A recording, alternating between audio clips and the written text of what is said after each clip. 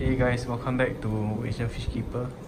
So uh, today I went to a saltwater farm at Pasir Ris. Uh, it's called Awana. So I went to look and I found something which I which I'm looking for. So uh, this fish is very cute, so that's why I wanted it. Uh, it's called a flame hawk fish. So it's in a copper tank for two weeks. So that's why I decided to buy so it's not very big. It's a very small fish but it's in a tank for two weeks and it's in a copper tank. So I believe there's no egg. Yeah, so the fish is inside here. So I'm gonna temperature acclimate it first. Then followed by uh, adding a bit of tank water to the fish so I'll let it float for around 30 minutes. So I'll see you guys later. Alright guys just okay guys so I've already temperature acclimate the fish for around 30 minutes. So now I'm gonna add the tank water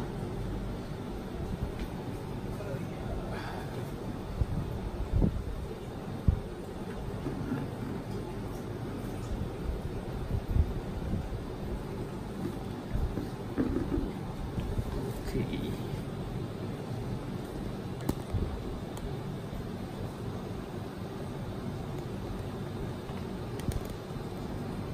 I'm gonna open this and add a bit of tank water.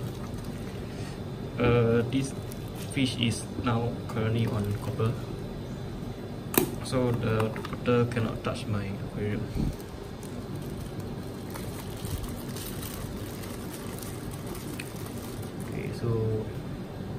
See the fish is inside. So I'm just gonna pour the tank water in.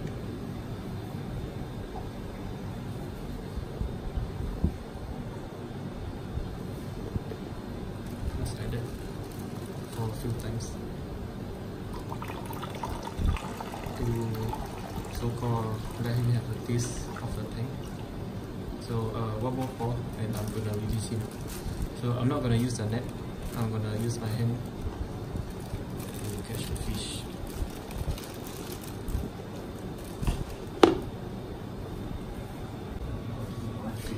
Okay guys, so now I'm gonna put the fish in after the water after the water chemistry. So yeah.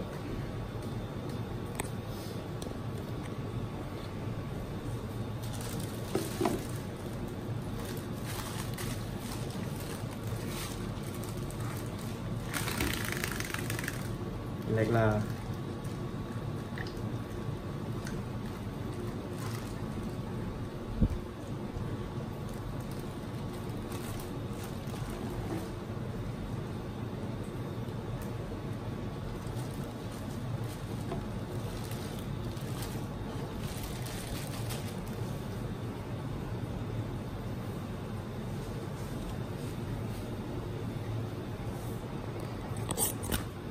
Okay, so the fish is here.